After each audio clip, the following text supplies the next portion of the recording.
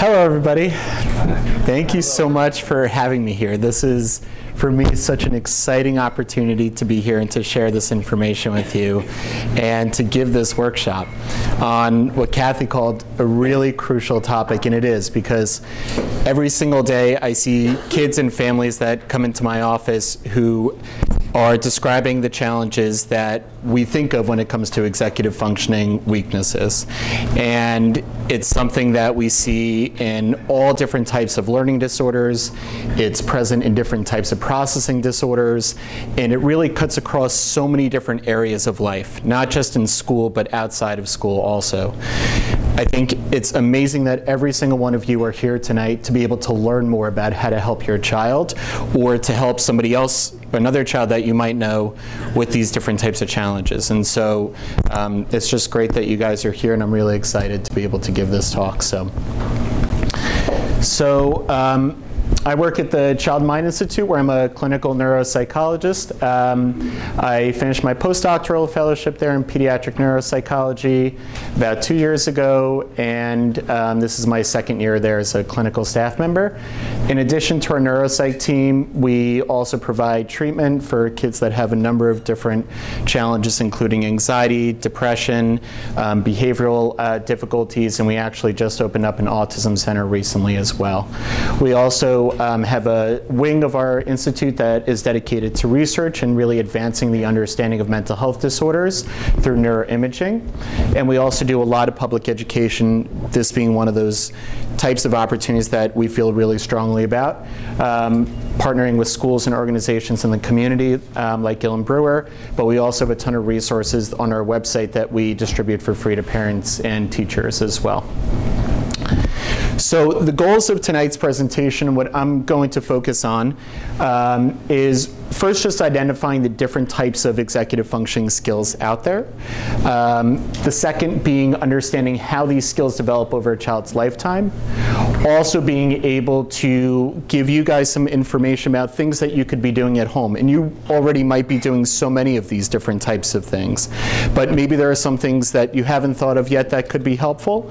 Um, and it might just also give you a different perspective on your child and maybe how to respond to some things that your child child might be doing that could be frustrating. Also, um, one of my goals is to help you guys as parents recognize what programs have really good evidence base behind them and what the research currently says about some of those interventions. As parents, I know how difficult it can be to sort through everything that's out there. There's just a tremendous amount of information, not only disseminated by um, scientists and researchers, but also just through the internet and everything that's out there, and it can be really confusing to understand. And executive functioning, what I'll say, is not an easy concept to understand. There's a lot of different skills involved. It's not just a unitary concept, which I'll talk about shortly. And every child has their own individual strengths and weaknesses in executive functioning too. And so that's really the most important, the top most important point that I just want to start off with and for folks to keep in mind. When we talk about executive functioning difficulties, that really encompasses a wide range of skills and behaviors. So it's often, I hear a lot, oh, this kid has executive functioning problems, or their um, dysexecutive symptoms are, are, are really, really severe, or um, things like that. But that doesn't actually tell me where a child's strengths and weaknesses truly lie. And what we know from executive functioning research is that a child that has a weakness in one area can also have a major strength in an another area. So an example could be a child that has a lot of difficulty regulating their emotions and controlling out and uh, dealing with outbursts, or, or a child who has trouble uh, tolerating changes in their routine, but might be extremely diligent and organized and detail oriented. So it's really important to understand that executive functioning is a host of different skills, and it's not just one overarching concept. And I actually think we probably do a disservice to our kids by saying, oh, they just have executive functioning problems, without actually really describing these things in better detail. The other important point to keep in mind is that these executive functioning skills can be continually fostered and bolstered throughout a child's development. They don't, you can, there are so many different opportunities as parents that you guys can do. And it doesn't just have to be the strategies and the interventions and the stuff that you read online and the stuff that you read in books and the, in the evidence-based research. It's just giving the child the opportunity to learn new skills, to teach them different skills, to learn how to cope effectively, to be able to self-regulate independently. And those opportunities can exist throughout the entire day. So if you go to a supermarket, help your, if you have your child, help you make a list of the things that you need. If the child's having a really tough time at school, giving them strategies that they can use to calm themselves down when they're feeling anxious. By doing that, all what you're continually doing is teaching them these skills, and those skills can continually be fostered and developed. And there's really no time limit either, because we know that executive functioning continues to develop and in different growth spurts, and we'll talk about that shortly, but in different uh, spurts throughout the lifespan and actually don't even peak until our mid-late 20s. So there really is so much time and there are so many different opportunities out there to continue to foster and um, help these skills develop we also know that people don't lack executive functioning skills, right? It's not that a child or an adult just doesn't, it doesn't exist. It's that maybe some of these skills might be developmentally lagging compared to others, and or might not be a good fit with the context of the environment, which I think is something really important that I see quite often. But that doesn't mean that we can't help and we can't um, close the gap and continue to make sure that these skills continue to develop. Um, right, you still have time, we talked about that. An important thing that um, comes to mind for me also as parents is being able to be your child's coach. And that is a big part of executive functioning skill development as well. As parents, you have so many responsibilities and so many things that you have to do throughout the day. And it can feel so overwhelming at times to be able to manage all the different things that you need to do and also to help your child as well. But the biggest piece and the most important thing that you guys can do for your child is continue to be their coach guide them through uh, different situations, teach them and break down new skills and concepts, share your knowledge and your strengths with them because I'm sure you all have your own unique strengths also that you can use to foster your child's weaknesses. And that also brings me to a later point of um, understanding your own executive skills, strengths, and weaknesses, I think is really, really crucial as well. So you might be a parent who's extremely well organized and your child might have some difficulties keeping track of their materials. They might always need reminders and prompts because they're losing things. Their backpack or their room might be a complete mess. But you might be super organized and those things to you feel even more frustrating because for you it feels like that comes so easy to me that I don't understand. Why do they struggle so much with these things? So I think it's really important just to be aware of your strengths, not only so you can, I think, guide and manage your own expectations, but also so you can share your own strengths with your child and help fill in some of the gaps for them. So if you're really good at organizing and knowing how to keep track of your stuff, teach them some of the skills and do it explicitly. And they might not get it the first time, they might not get it the second time, but with repetition and practice and hard work, over time they will be able to get it. So those are just some important points before we jump into some of the, um, the meatier um, um, types of information. So I just want to briefly go over a history of executive functioning skills. Um, I think it's important to understand these things in a, in a broader historical context so we can understand how we started and then where we got to today as far as the field and the science goes. So um, there's an early case example. Um, who's taken an introduction to psychology course here when they were in college or at some point? Okay, a couple of you, right? So I don't, it, most intro psych classes talk about this guy, Phineas Gage. So Phineas Gage was a railroad worker and um, he was working on um, a project one day, and a railroad spike, a tamp, suddenly um, came loose and flew through his brain and actually exited on the other side. A really gruesome story. um, but he actually was pretty conscious throughout the entire experience, knew exactly what was going on, could retell the whole incident actually very accurately, and survived and was totally fine, except people noticed that there were a lot of changes to his personality. So whereas he used to be um, very thoughtful and organized and well-mannered, after this accident, people noticed a really big change in his personality. He was um, he couldn't keep track of his stuff. He became easily frustrated. He was rude and impulsive. And so that sort of, before executive functioning as a concept even existed, this idea that there's something in the frontal lobes, the frontal part of our brain, that regulates our behavior, our emotions, and our cognition, and it's seated here in, in the front of our brain that was um, that was there, and that started to um, that started to pique people's interest. The actual term executive functioning was introduced not that long ago, actually. I found this really surprising as I was looking up some research and going through the history. In the early 70s, um, they started to do some research understanding how lesions to the prefrontal cortex, which again sits right behind your, behind your forehead in your brain, how that can affect behavior in monkeys and humans. At first, folks thought that executive functioning skills, again, were, were this was this unitary concept, and so they just described it as such in the research literature. However, advances in neuroimaging and our understanding of these things led us to actually be able to isolate different skills that are part of executive functioning. So nowadays, the way that we think about executive functioning, instead of one construct, we actually think of it as a set of different skills that are interrelated and in, in, play, in interwoven with each other and have a constantly dynamic dynamic interacting effect on one another, which I'll get to in a, uh, shortly also. So it's become an umbrella term, but it's really important to understand that there are a number of different skills within this broader construct.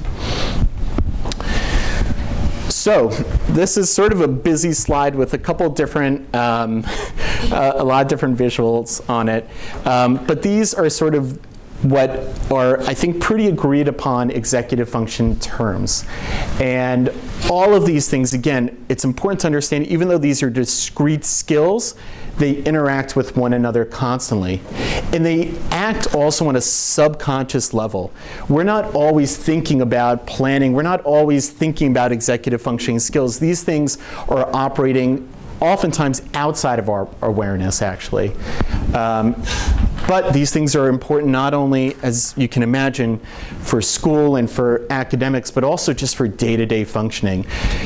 Interacting with peers, um, working with adults, um, going out places. All of these skills are involved in all these different things, and they're constantly being used throughout the day. So I'm going to talk about a couple of them. I'm not going to go through every single one, and I'm actually going to break it down a little bit more because it can be confusing when thinking about all these different types of skills.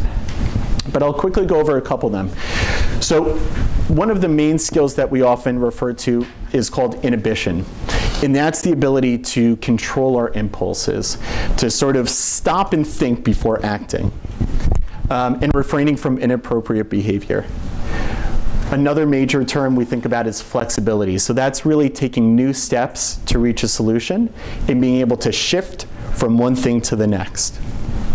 Emotional control is another important concept for us being able to regulate um, frustrating moments, which can happen throughout the entirety of the day, but realizing if a small slight happens to not have an overreaction. That requires emotional control.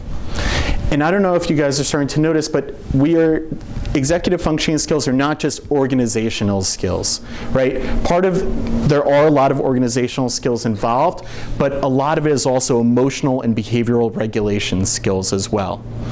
And that's the interesting thing about executive functioning. They sort of exist right at that cross section of cognition and behavior.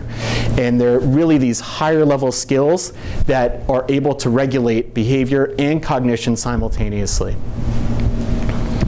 So this is a slide just sort of giving you guys an idea of how some of these different skill challenges and weaknesses can manifest in day-to-day -day life. So a child, for instance, that has trouble with inhibiting their impulses or in the inhibition skill, they might be the child who's constantly calling out in class and interrupting grandma or um, you know Aunt Ida when they come over and they're telling a really boring story.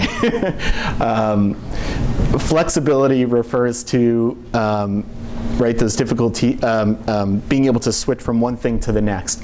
So we see kids that have challenges being flexible, oftentimes they have difficulty going from one activity to the next. They need a lot of reminders ahead of time of what's going to come next, and they also might need countdowns and things so that they can use that foresight to think, oh yeah, I have to do this next. And then there are other skills involved. What do I need? Where are my belongings? Where's my jacket? Where's my coat, for instance, before going out to recess? But even just being able to shift from, say, homework to going outside or homework to dinner time, right? That in itself requires flexibility. And oftentimes we see kids who have challenges with flexibility are often um, some of our most anxious children as well because they get stuck and they become fixed on a routine or something that they need. Um, emotional control, we see that these kids often um, have a lot of difficulty handling their frustrations. They might throw a big temper tantrum over a small slight event. Okay, so all of these different skills have manifestations, and again, it's not just related to the school environment, but it's it's at home and it's in the community and what and it's what you guys might see on a day-to-day -day basis. To distill this a little bit more though, we tend to see five major challenges in executive functioning skills. The first being concrete thinking. Again, being able to think flexibly, being able to think outside the box, being able to um, adapt to a new change, being able to shift from one thing to the next. Oftentimes kids that have some sort of executive functioning difficulties with flexibility will be rigid, concrete thinkers. They sometimes have trouble, I often hear, they have trouble sort of getting the big picture. um, they can understand the details, but seeing the forest for the trees becomes extremely challenging for them. We also see self-awareness being a really major difficulty that a lot of kids tend to have. Understanding how their behavior can impact somebody else. The effect of um, making a rude comment or saying something inappropriate and understanding how that might affect their relationship with that person or um, understanding the impact of something like something that they might have done at home and understanding the full impact that it might have on you guys also as parents. Inhibition and stopping, again, talking about being able to control your impulses, stop yourself in the moment, that's really important.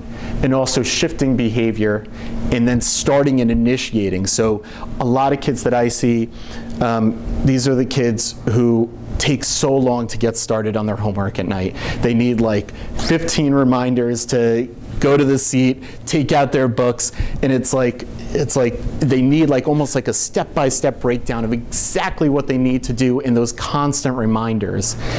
And these kids are often the ones, the ones who have trouble starting and initiating, are often seen as the ones who are lazy or unmotivated, right? And we hear that term a lot. And I think of laziness and unmotivation as a real thing because that's what these behaviors seem like. like they do seem lazy, they do seem unmotivated. It doesn't seem like they care. But oftentimes they do care. It's just really hard for them to get started on these things. It's not that they can't, it's just that it takes a lot more mental effort and it takes a lot more practice and it takes a lot more repetition and they might need these things broken down and explained directly and explicitly many more times than say another child their same age. Within executive function, I talked a little bit about how there's all these different skills.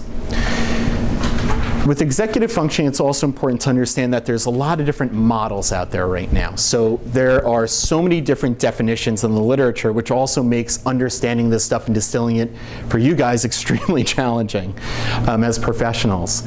Um, I'm using tonight for, for, the, for the purposes of this presentation, Adele Diamond's model of executive functioning. Adele Diamond is one of the most prolific researchers on executive functioning. She does a lot of work actually with young kids and preschoolers and how executive functions develop over the lifespan. And she she theorizes and she thinks about executive functioning actually within just relying on these three different types of executive functions as forming the backbone of this concept. So she really believes that working memory, inhibitory control, and cognitive flexibility are the three most crucial and foundational executive functioning skills, and then everything else builds upon those skills. So I'm going to talk to you guys a little bit more about each one.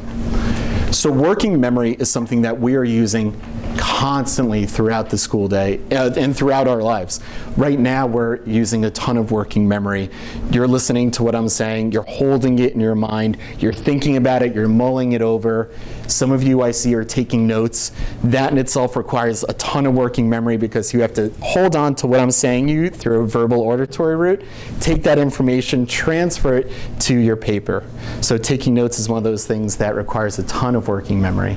So working memory is really the ability to hold information in your mind. Think of it almost as a, a mental scratch pad.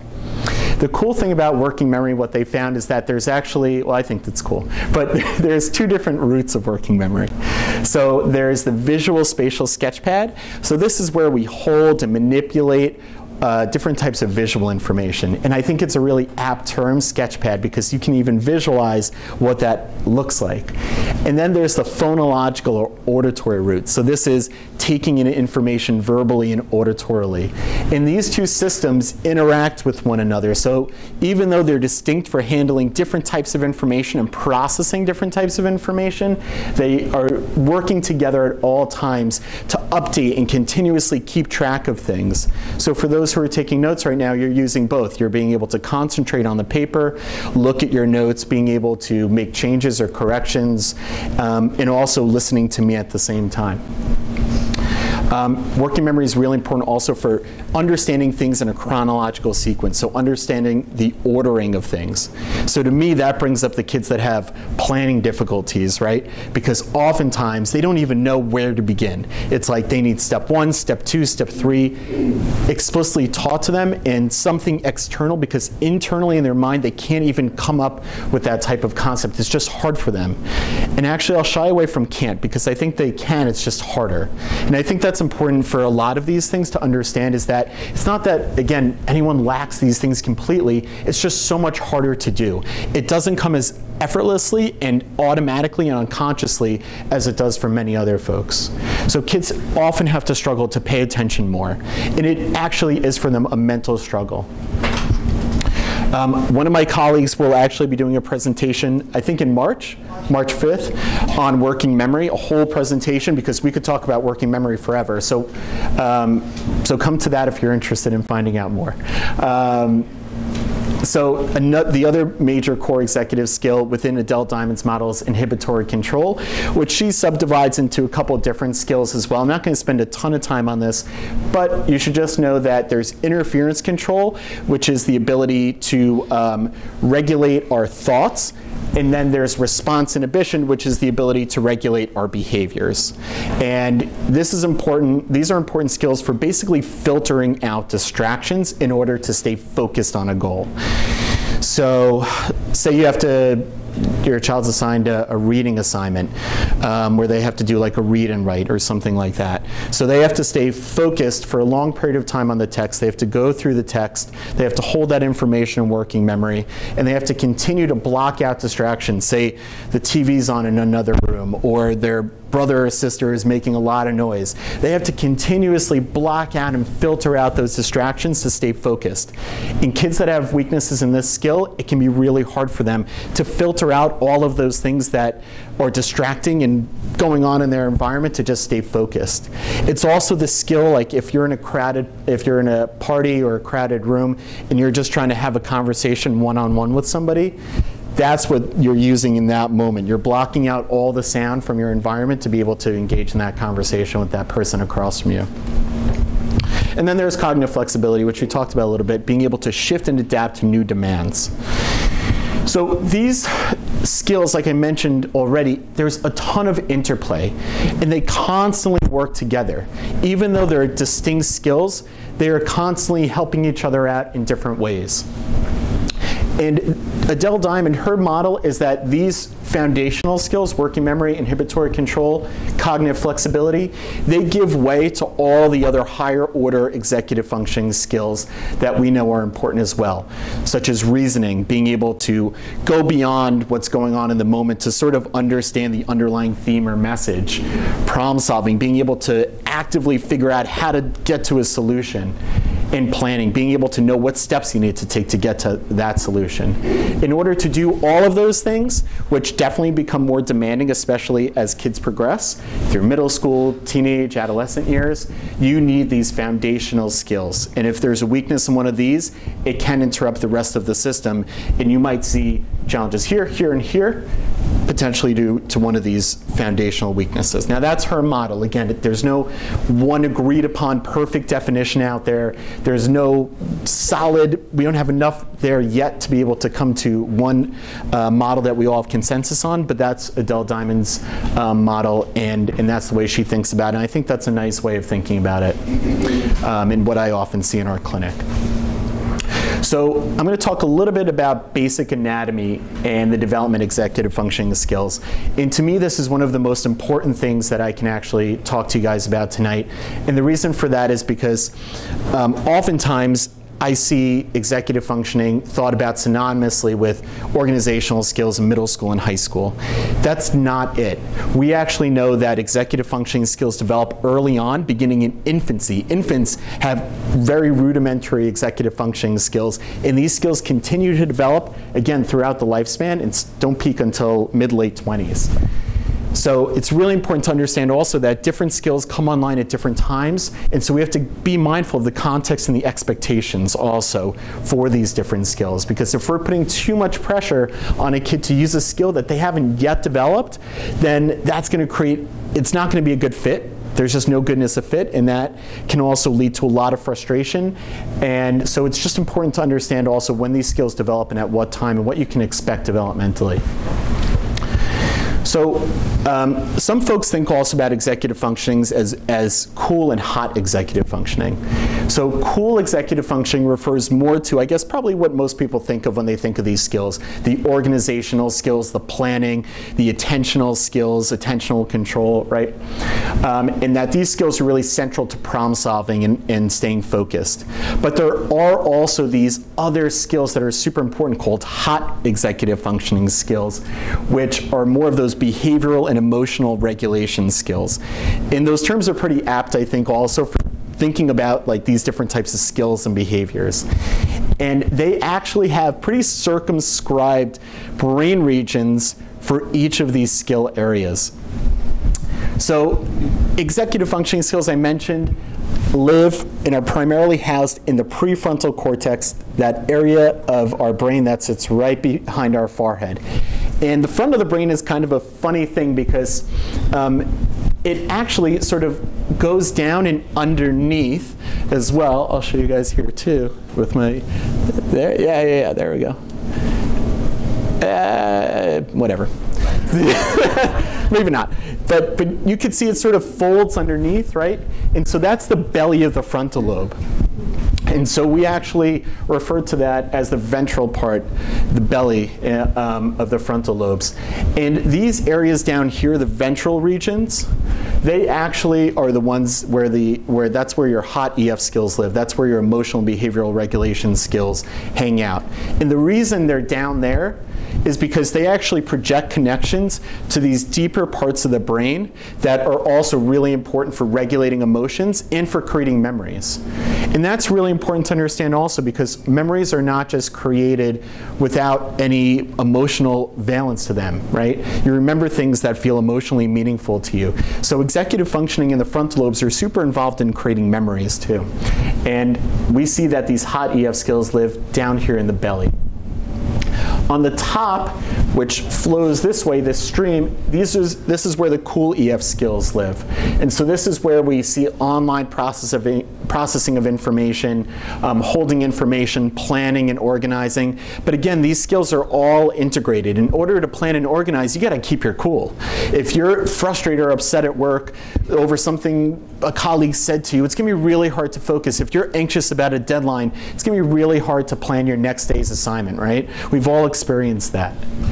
So these areas are constantly talking to each other, and these areas project numerous connections to all different parts of the brain, because the executive functioning skills are the seat of cognition. They basically they're they're the orchestrator. They tell all these different other parts and areas what to do. So when we think about the development of these skills, again, we know that they develop um, early on. They're present in infancy. We've done research studies. We found that these skills can begin in infancy, and then they develop rapidly throughout childhood. And there are different spurts for different types of skills, which I'll talk about shortly. Um, executive functioning skills don't develop linearly, so it's not just like a whoosh, it's more like a kind of thing up, and then they start to decline actually into old age a bit. Um, and yeah, I guess not, right? So then um, it's also important to understand that these skills don't in, the brain doesn't develop without the larger context of the environment, right? The environment is constantly reinforcing experiences and changing the way the brain works. There's a ton of research out there. We know now that neuroplasticity is a real thing. We know that the brain can actually rewire itself with certain types of interventions, with certain types of programs, which is amazing. And so there's a constant interaction from the environment. Even from a very, very young age, we know how important the environment can be to good brain development and good brain health.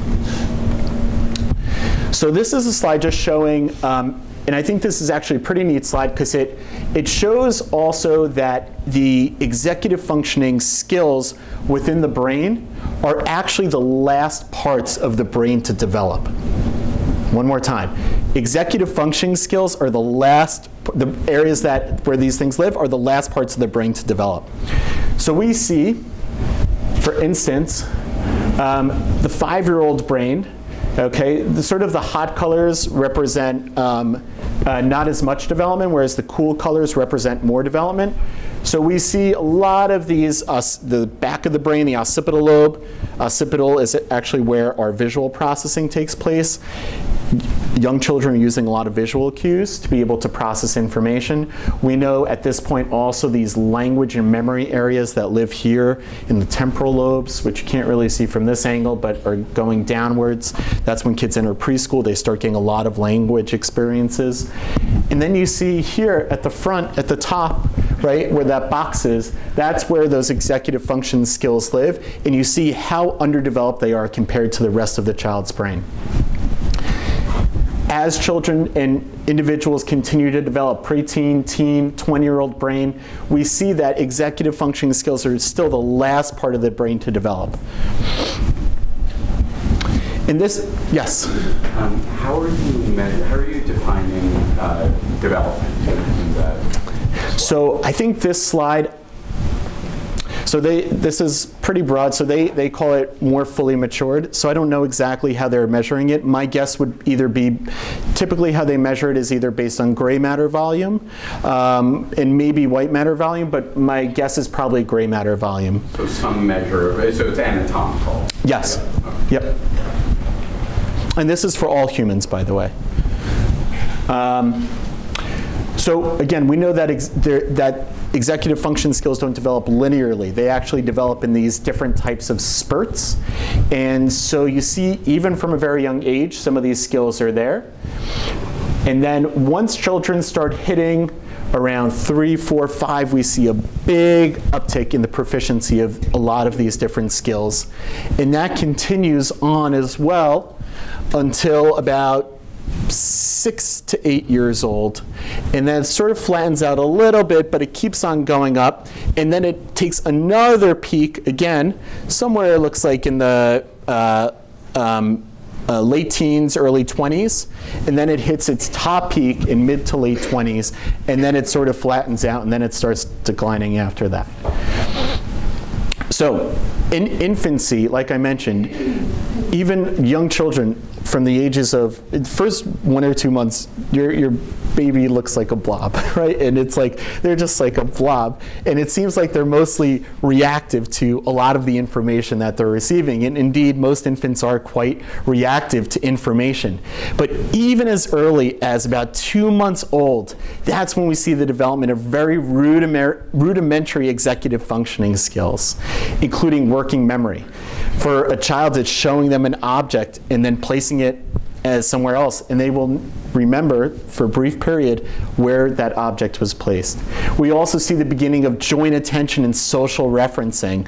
So um, even young, young children um, at one to two years old can understand, they can look at someone's facial expression, they can look at their caregiver, and they can read their emotional expression to understand how that adult feels about a certain object in their environment and they can actually begin to reference that on their own. So these skills really develop quite early on. And obviously it's very rudimentary, but that's when they really start to develop. In early school years, again, we see that rapid development really between the ages of three to five. And then by age five, we see a major surge as well. And we think it's because that's when a lot of kids are entering formal schooling. So they're getting more exposure to language, they're getting more exposure to different social interactions, there's more opportunities for them to self regulate, and they are expected to self regulate a little bit more in the classroom. Obviously, there's still in kindergarten and preschool, there's a lot of play and a lot of just basic things, but they're learning and they're using their executive functioning skills every single day to be able to, for instance, understand sounds and language, which is using working memory often. Um, being able to understand letter sound correspondences, know the B makes the bus sound. Being able to start to control their motor movements to draw very rudimentary shapes all of these things start to develop. Delaying gratification, waiting for their reward or prize um, for working on a goal. Okay, so by age five, a lot of preschool children can start to develop these skills and have a lot of these skills. They can also follow one to two step simple directions. So there's things that are starting to develop and progress then. By middle and late childhood, we see more gains in sustained attention and vigilance. So being able to concentrate and sit still and focus on your homework assignment or what the teacher is telling you in class, those skills become more crucial and important during these years. And by this time, a lot of these kids can do it. And the kids that are coming to our clinic and the kids that we're seeing are often the kids that are having trouble being able to stay focused on their assignments. Um, they are often the ones who are getting very easily distracted by the things that are going around, uh, things happening about them. Um, they might start to have some trouble with some of their social interactions because the development of social context also changes. Kids are really interested more in rules and not so interested in just free play and excitement. So that's when I tend to see a lot of kids really in these ages around 8 to 10 years old. And I'm always thinking about looking at some of these executive functioning skills to perhaps explain something of what's going on here. By 11 and 12 years old, working memory comes more online, and we see another big developmental spurt in strategic and goal-directed behavior. So that's when kids really start to get into early middle school years. They have to organize their belongings. They have to move from one class to the other. They have multiple teachers. It's not just one now. The social complexities become much more. They have to think about setting up their own playdates and things like that. By adolescence, we see that attentional control really starts to pick up um, around age 16. Working memory gets to about near maturity by age 19. Adolescents can successfully engage in problem solving by integrating multiple executive functioning skills. They can self-monitor and understand the impact of their behavior, but these uh, areas are still not very mature. Oftentimes we, um, we see and we hear adolescents and teens who um, they have these skills or they should have these skills or they know what they should do, but man, they just can't do it. like what's going on? What's getting in the way? And, and we see somewhat of a discrepancy there um, where you have the knowledge and they have these skills developed, but there's still sort of a block in their ability to follow through and do these things. Um, we also know that executive functions are not fully developed until adulthood, right?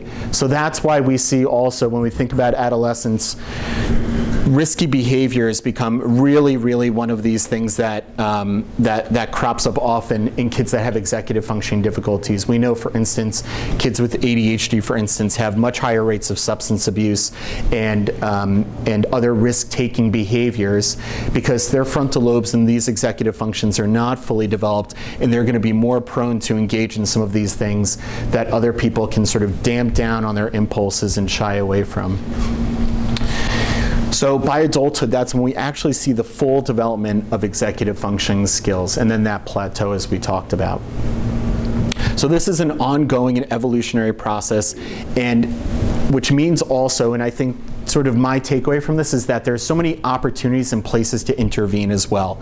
And even if um, even if a child's having challenges later on, it doesn't mean that there's not things that you can do to be able to help them out and help them build up those executive functioning skills because there's, there's still time, there's still things that you can do to foster that brain development. So how does EF play into academics? EF is actually one of these things that has a major impact on all different types of academic subjects, reading, writing, and math it really forms the core, it, it really underlies so many skills within each of these subjects.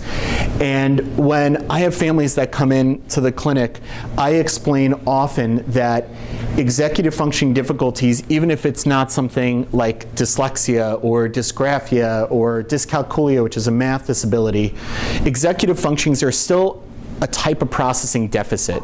To me, they don't just have a subject-specific area of weakness, they can really interfere with learning on a more global basis. Okay, so you might not see an impairment in just one specific area of learning. You can. You can have a child that has dyslexia and executive functioning issues because they might have ADHD or something else. But executive functioning challenges are processing challenges that affect all different types of learning. So we also know the context, again, is so, so important. I'm just going to keep drilling this home. In kindergarten, there's daily routines that we have to keep track of, moving from home to school. By first grade, kids are starting to learn more basic academic skills. By third grade, we understand that it's not just about teaching kids to learn how to read, for instance, they now actually have to use their reading skills to be able to master content and acquire knowledge. Um, oftentimes we're not, unfortunately, waiting for a lot of that. We're, we're keep on, a lot of teachers keep on going, even if a kid hasn't mastered reading skill yet. Um, we're writing to share ideas. Okay, so the demands of the environment in school also tend to place tend to rely more on executive functioning skills as kids get older. And that's really important to keep in mind because I will see a lot of families for the first time and their kids might be in middle school or high school and this is the first time perhaps the rubber's hitting the road where things are becoming just too much for them to keep up with. They may have coasted by an elementary school because they're bright and they're smart and they have all these other good cognitive capacities to foster their ability to learn. But when they have to keep and stay organized, when there's a lot more demands for them to take notes and manage multiple subjects, deal with increased con um, content complexity, that's when we sometimes see a breakdown. And it's often due to some underlying vulnerability in some of these executive functioning skills which may not have been identified. Because these kids can compensate really well, especially our bright learners. So let's talk a little bit about reading. What makes a successful reader? There's actually three main processes that are going on. The first is word recognition, which is just being able to recognize and read words on a very modular, simple level. In order to read words, which sounds like a really rudimentary process, but it's not, there's actually so many different cognitive skills involved in just word reading one of them being phonological awareness, which is being able to understand and manipulate sounds the, within the English language.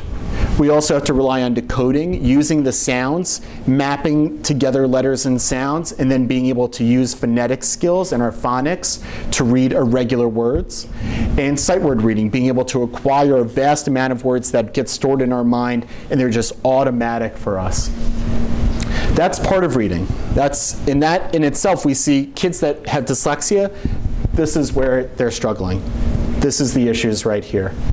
However, we also see some kids that have trouble reading due to language comprehension issues. They might have weak vocabulary, and it could be in part due to the fact that they're not reading as much, so they're not acquiring as many vocabulary words. But it could also be that they have trouble with some part of language processing, which gets in the way of vocabulary. Understanding language structures, being able to reason with verbal concepts, and also accumulating a lot of background knowledge about what you're reading is important. Executive functioning skills are the third main component that is involved in reading, though. We're using working memory, inhibition, and cognitive flexibility when it comes to reading, and I'm going to show you guys how. First, we'll talk about working memory and reading. So we actually have evidence that working memory is involved not only in that word recognition process, in being able to understand and manipulate sounds in our mind, okay? But we also know that working memory deficits are linked to poor comprehension, even in those kids who have great word reading skills. So you might have a child at home who can has a large vocabulary and can recognize sight words so easily, and you give them a list of words to read, and they have no problems because their phonics are great, no issues there. But these are the kids who with executive functioning weaknesses, you'll often see trouble with reading comprehension, pulling away the meaning from text, understanding the underlying theme and what's going on in the story. And part of that is working memory because working memory, okay, you need to access and hold on to a ton of semantic information while you're reading. You also need to think about what the words that you're reading actually mean if they are in your vocabulary. You need to store and update concepts continuously while you're reading text. You also have to be able to detect different sorts of inconsistencies, things that don't really match up as well. So there's a lot of working memory that goes into reading comprehension. Um, again, what we know is that executive functioning deficits tend to be secondary amongst children with dyslexia. Children with dyslexia tend to have more of those phonological, phonics, decoding issues and word recognition issues. But executive functioning deficits are primary, primary amongst those with specific reading comprehension problems. Okay, so that's a, we know that these skills are, are crucial. These and language comprehension really form the backbone. Um, without, if they don't have any word reading issues, form the backbone of comprehension. Working memory and writing. We know that working memory is so, so involved in writing. I see a lot of kids that come into my clinic that have executive functioning problems, and the first thing that I see as being a problem, or what I hear about often, is their writing stinks. And it can be down to sort of the basic skills like orthography, which is um, written, just written letters, okay, being able to spell correctly and things like that, to more complex skills like sentence construction, being able to take a lot of words and being able to string them together to form sentences. And executive functioning and working memory work are really important for writing also because you have to hold a lot of information in your mind and then transfer it then onto the paper. So there's a lot that's going on. We also, when you're writing, you're coordinating your attention to detail. You're maintaining focus and attention. You're blocking out internally distracting thoughts as well, right? To be able to organize your thoughts correctly. Another way I like to think of writing, writing is written communication. It's not verbal communication, but it's written communication. The purpose of writing is to communicate our thoughts and ideas. And children that have working memory or executive functioning difficulties will often have difficulty with writing due to a breakdown in some of these skills. As I mentioned before, taking notes requires a lot of working memory. Um, so we don't need to spend too much time on this. And then with mathematics, we see also executive functions become really, really important. Um, working memory actually seems to be one of the strongest predictors of um, a math disability or um, math weakness or for struggling math students. Um, it is one of the strongest predictors compared to all other different cognitive skills. Why? So within the phonological loop, that's where we're retrieving math facts. Math facts are actually coded through a linguistic code, and so we actually have to retrieve them through that phonological loop.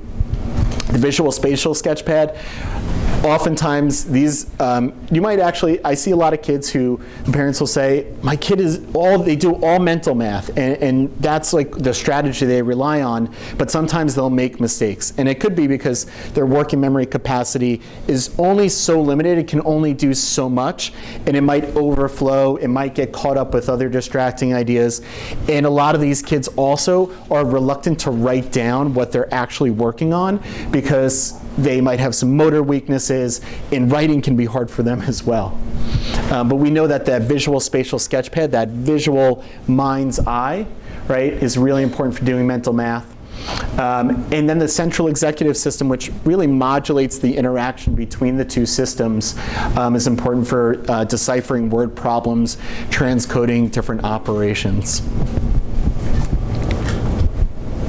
Beyond just working memory, we know that executive functioning weaknesses can also get in the way of kids being able to pay attention to operation signs. Um, I tend to see a lot of kids when they're working on our math tests that we give them in the clinic, they'll often subtract when they need to add.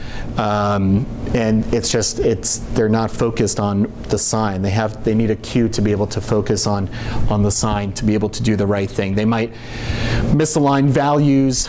Um, being able to select the right math algorithm or formula that you need to solve a problem, that's also using executive functioning because you're retrieving information, you're organizing that information in your mind. So really, executive functioning skills, they are processing weakness. They're they, it's, it's a very um, broad processing weakness because as we can see, it can really get in the way of a lot of different academic subjects. And not all kids with executive functioning weaknesses is important will have these academic difficulties, but they might be at greater risk for these academic difficulties, and you might see some of these things on a day to on a day-to-day basis. As far as yes. How do you measure working memory? Great question. So there's a lot of different ways to measure working memory. The probably the most often used instrument um, or uh, task of working memory um, that's looking at auditory memory is what's called a digit span task. So um, how can I show? So it's actually a very easy task to show. So I'll say to the child, I'm going to read you, um, I'm going to say some numbers out loud. Just repeat what I say. Repeat after me. And so we start pretty simple. So I'll say 2, 9 and they just have to repeat back 2, 9. And then the strings of digits get longer and longer. So I'll say 3, 2, 7, 8. So in that case, they have to repeat back 3, 2, 7, 8. What are they doing? They're taking that information in, they're holding on to it for a brief period of time in order to then repeat it back. That's the first type of condition. Then we sort of shift it up on them and we say, okay, now I want you to, when I say the numbers, I want you to say them in backward order, reverse. Does anyone want to be a lucky, does anyone want to try?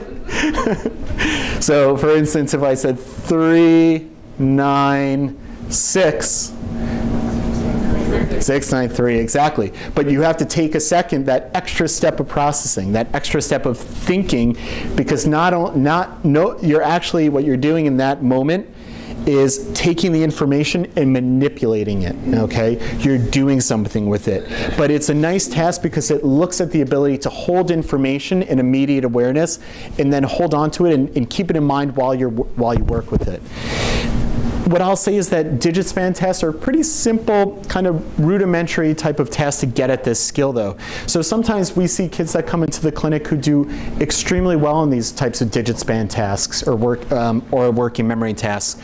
But we see that in day-to-day -day life, they really have difficulty following more complex, extensive instructions. It's hard for them to manage doing multiple things at once. And that's because you have to remember within our clinic, all the testing we're doing, it's one-on-one. -on -one not any distractions, and so it's really trying to isolate those skills.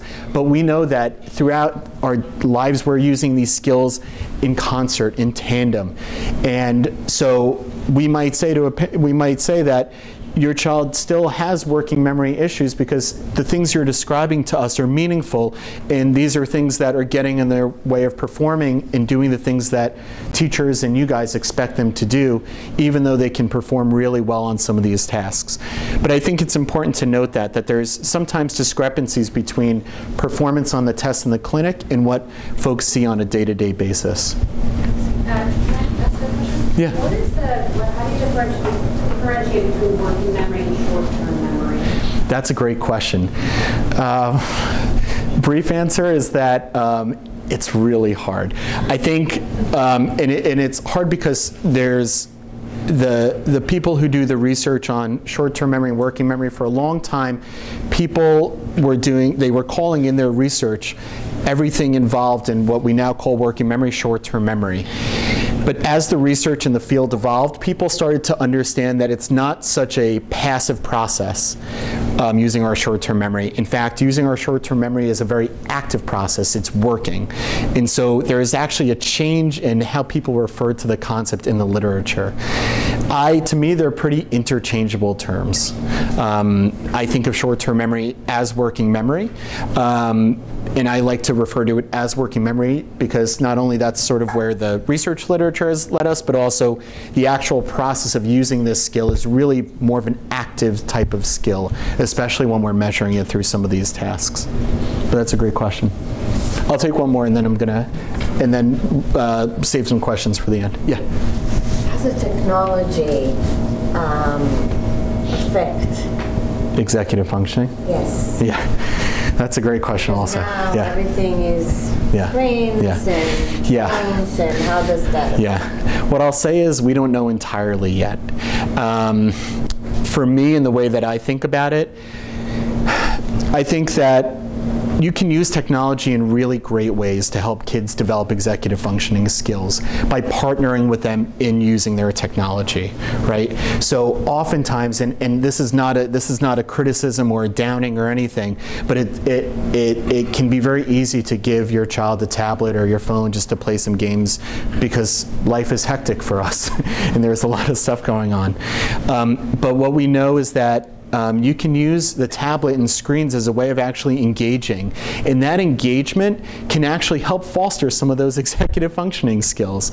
So if they lose in a game and you're sitting with them and you're playing along with them, you can say, okay, what's that strategy that we worked on for calming our bodies?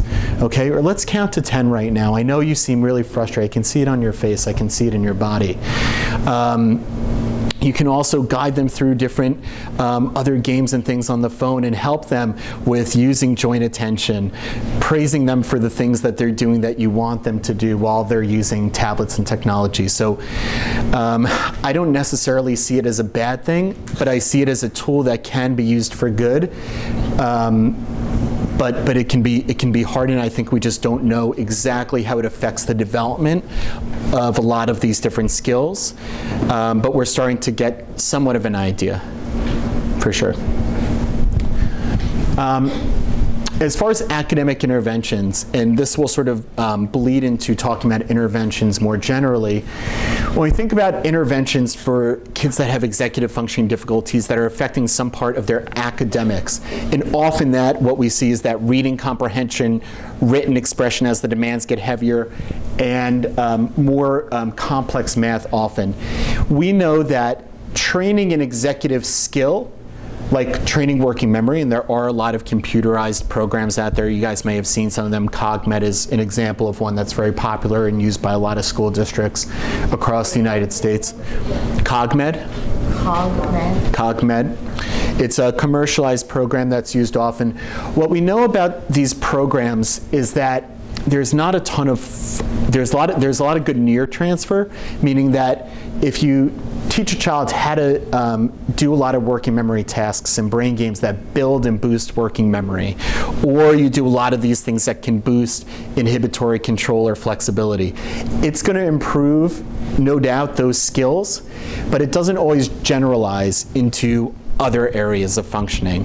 And so what we know, because they've studied this, is when you do sort of working memory interventions and then you see the impact on these different academic subjects, oftentimes you don't see a big boost in the academic skill. the way to be able to intervene in kids that have executive functioning challenges on an academic level is to be able to apply executive functioning skills to the subject that they're doing and the work that they're doing. So I'll give you an example.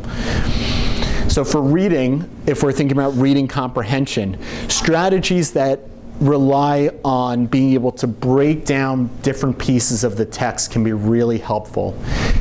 Um, this is just one example of a, a, reading strategy. There are a ton out there, but what we know is that kids that have these types of difficulties when it comes to reading comprehension, sometimes it's just a lot of information for them to process at once when they're reading a story, and it can be really helpful to break down each area of the story for them and review it and model and practice and repeat it.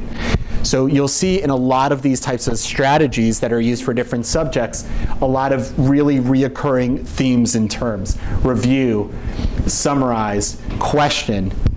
And you guys, this is stuff that, that should be fostered and developed and continue to be practiced and rehearsed constantly. So, and this is where as parents it becomes really important to be your child's coach, right? And you can't always be there and you can't there's no way to be their coach at all times.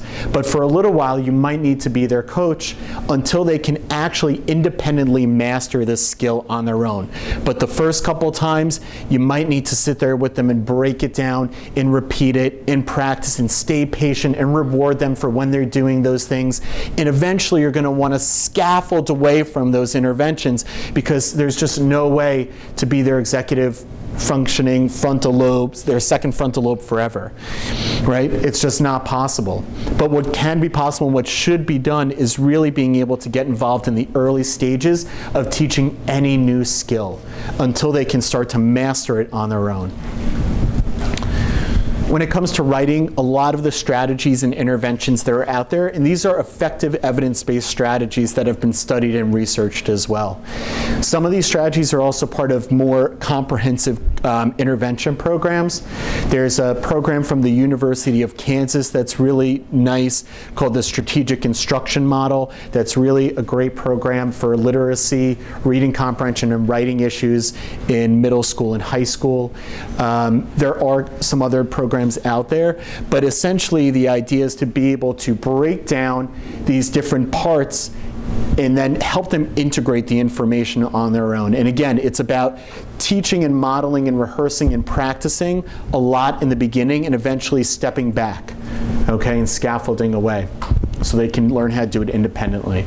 So breaking down large assignments into more manage manageable steps. This is sort of a cute graphic organizer that I found online.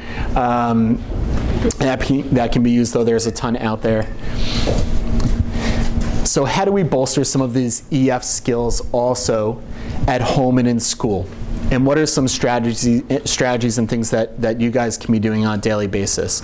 So full, full disclosure, full disclaimer, um, a lot of these strategies are taken from one of my favorite resources um, for parents called Smart But Scattered. I don't get any royalties or commission. um, but um, it is probably my one of my favorite um, books for uh, to recommend to parents because um, it gives a really nice overview of some of the stuff that we covered um, this evening, some of the background of executive functioning, how to manage your expectations of these different skills as well. But then it also has an entire section um, that really discusses how to promote and how to strategize and work on each of these skills. And what I'll say is that you shouldn't feel like and this is probably not a good thing for a psychologist to say you shouldn't feel, but, but, but you, you shouldn't sort of feel like you have to do it all, right? Because oftentimes that's how it can feel like, oh, we've got to do all these strategies, we got to buy all the books, we got to get all the programs.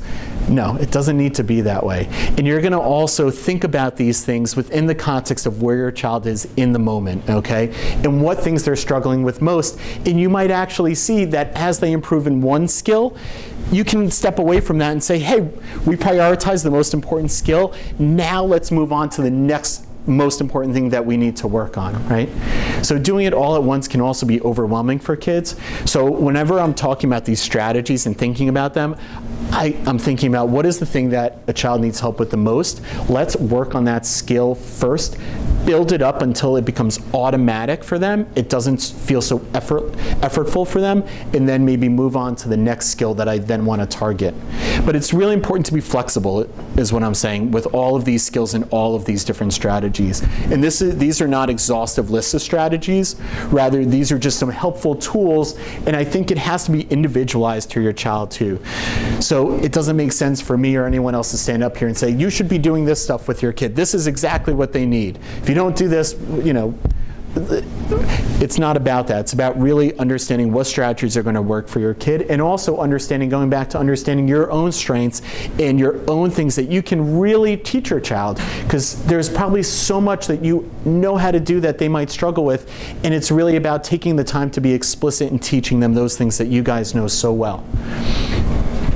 So, but with planning and with most types of skill drilling, it really is important to be explicit when creating any plans. We know that children, while they can learn a lot from their environment and pick up things sort of like through, sort of just seems like osmosis, kids really learn the best. All kids, not just kids with executive functioning issues, but all kids when instruction is direct, explicit, broken down, rehearsed, and modeled for them.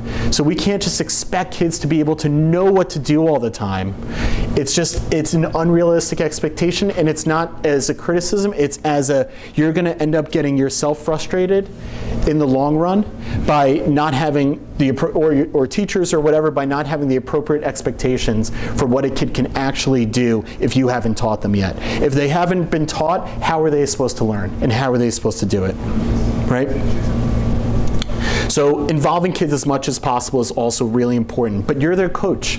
You're going to be their, their, their, their support system. You're going to love them. You're going to be their network. You're going to help them out. And you're going to work through all of these different things with them.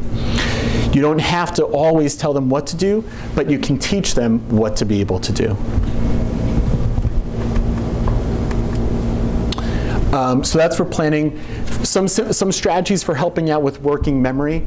Um, having them be able to make eye contact can be really helpful before giving an instruction and direction because they might have another thought in their mind and they might be in, distracted internally or by something else. So making sure that you have their full attention before giving a command or a step can be really helpful. Activating working memory by having them repeat back what you just told them can also be really helpful. That's just rehearsing and keeping information in that working memory loop a little bit longer. Um, and also prompting them with these different types of cues and rehearsal cues um, just before what you, what you expect them to be able to do. Also teaching different types of mnemonic strategies so that they can actually access the information and the strategies that you're teaching them through different keywords and acronyms task initiation, some things that you can do to teach that are um, um, breaking down overwhelming tasks into smaller parts. And I actually think, for me, this is one of the most helpful strategies that I see as being effective because I see oftentimes these kids just get so overwhelmed by what they need to do and they might not even have a really good, clear understanding of what they actually have to do first. So giving them a step-by-step, linear, strategic breakdown of what the expectations are and what they need to do and what they need to acquire can be really helpful fostering flexibility, so coaching them through some anxiety provoking situations. When it comes to dealing with different emotional challenges and executive functioning, it's really important that kids have skills right? Kids need coping skills. They need to learn to know what to do in a situation. And that needs to be taught explicitly as well so they can access that information and they just understand and they know it. And it's not just watching or expecting. And if you've taught them a skill, then they then you can expect that they should know what to do right? But it's really important for kids that have these emotional challenges that they do have a coping skill toolbox that they can refer to in moments of frustration, whether that's taking deep breaths or being able to step away from a situation or use some sort of um, tangible object that they can hold on to if they have some sensory challenges as well that also um, when their anxiety heightens they might feel like they need an extra sensory moment to be able to manage it. But coaching them through those moments is super important. Um, giving some expectation, um, breaking down things and giving expectations can also be helpful so that they know what to do next because it can be hard for them to almost to internally create a schema in their mind of what they need to do next or what the next situation is going to have in store for them. So you actually have to be able to do that for them and say, okay, we're going to the zoo today, for instance. Here's a step-by-step breakdown of the things that you can see at the zoo. These are the expectations for when we're at the zoo. And this is you know, this is our plan for the day. And actually giving them that plan allows them to access something that they might have trouble coming up with on their own or might not be easy for them. So rehearsing scripts can also be a really nice strategy for them also. So if they are stuck in a really hard or emotionally um, charged situation, they have a script that they can access in their mind to be able to calm themselves down. Whether that's step away right now, take a deep breath, count to 10, right? And then strengthening attention. Um, there are a couple things on here that you can do. Um, giving a visual depiction of elapsed time can be helpful. We, we often see that kids with ADHD, and I'm not picking on the ADHD kids here, it's just something we see executive functioning problems often um, in, that, um, in that condition. They have trouble actually um, understanding, um, they have trouble time management, knowing how long things are going to take. So they often will need some sort of visual depiction or timer so that they can refer to and to um, see how much time has elapsed while they're working on something. And then using incentive systems. So um, we see this as something super powerful, and it's not, it's not, um, it's not meant as a way to make children dependent on external reinforcers for the rest of their life. That's not the goal. The goal is to start there and to eventually use these things to be able to build up skills so that they no longer need that same type of reinforcement. Okay? There's also a curriculum. How many of you have heard of uh, this type of program, organizational skills training? Oh, not many, okay. So this is actually a program um, that was started right here in New York City um, by the folks at the NYU Child Studies Center. Um, Richard Gallagher and Howard um, Abikoff started this program for their kids that did have ADHD who were coming into their clinic because they often saw the challenges with organization and time management and planning. And so they um, actually um, ran, they got money for a pilot study and they used it to create this intervention program called called Organizational Skills Training, OST. And uh, they found that it was incredibly effective, and they published um, this manual um, for clinicians and, and, and um, people that to use um, for kids that have these different types of issues. And this is a really nice evidence-based um, program that can be used.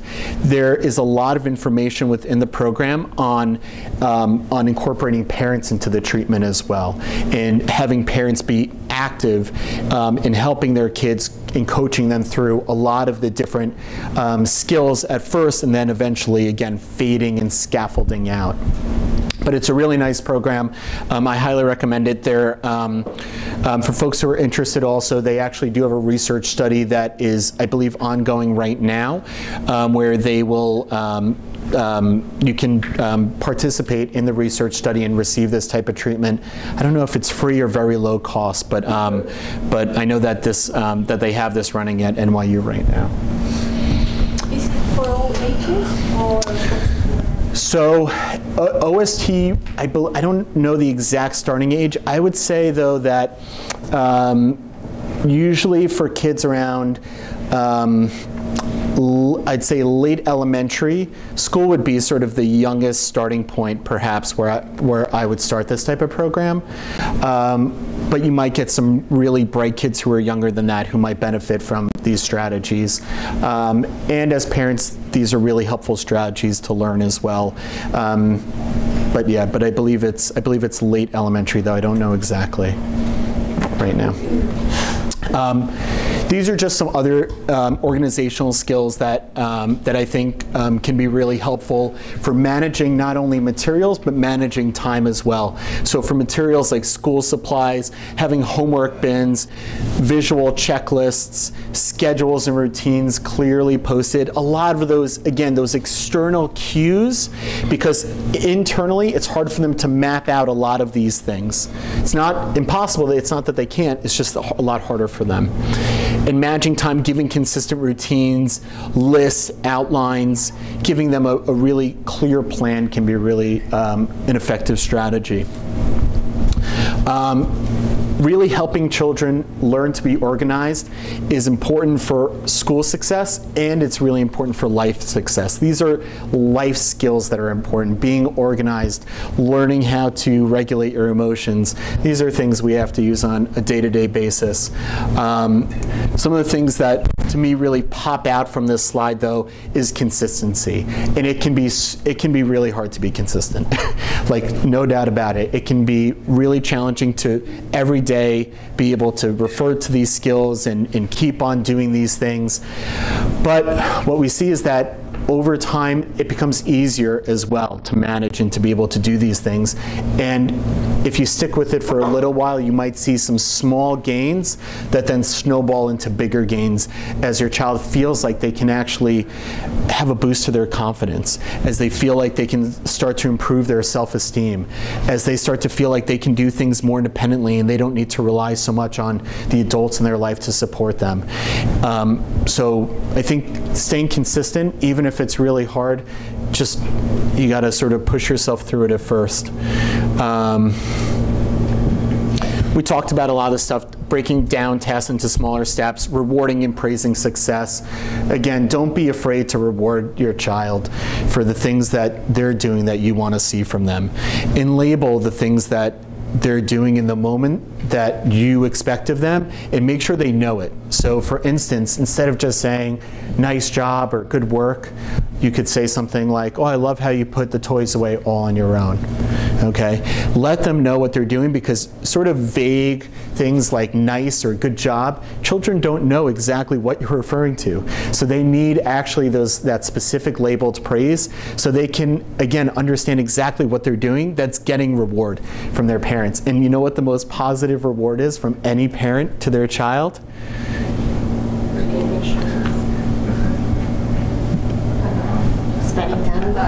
Love. But yeah, I, I would say so. Love and but their attention, your attention. That your attention is probably the most powerful reinforcer that you can give your child. Even if it's negative attention, guess what? That's still attention. No, seriously, because and and we see often that that negative attention can reinforce behaviors. Okay, even the ones that you don't want them to see. Even if you're inadvertently paying attention because it's disruptive. So it becomes again about managing your own expectations and sometimes letting some of the small stuff go and ignoring. ignoring can be a really nice way of actually extinguishing a behavior that you don't want to see anymore. But it really is important to reward and praise children for their success um, and let them know what they're doing.